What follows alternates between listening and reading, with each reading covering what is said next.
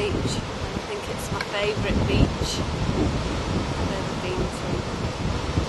Came here one time and I had a fantastic fire. We found starfishes because it's been a really high tide the night before. I've been today and I looked over there and I thought it was just so beautiful. And the stones look like mountains. You can't, you took a photograph, be able to tell whether they were massive, massive mountains or whether they were tiny rocks. And I've just been on a scavenge to find new sticks. Just up the back to see if there was any really good driftwood.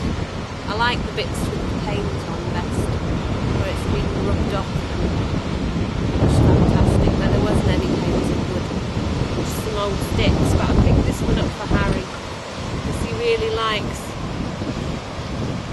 We once went to a shop and there was um, slingshot and I thought this is really really hard wood and I thought if I can cut that off I could make it into a slingshot and take it for Really great day today for wildlife.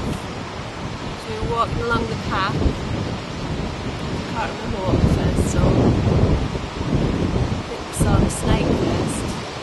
We saw a little grass snake squiggle across the path. Harry and I found one that was dead last time we came, but never seen a live one. That was a bit special. And then we've seen loads of butterflies. Blue ones, yellow ones, red speckly ones. Loads of butterflies today.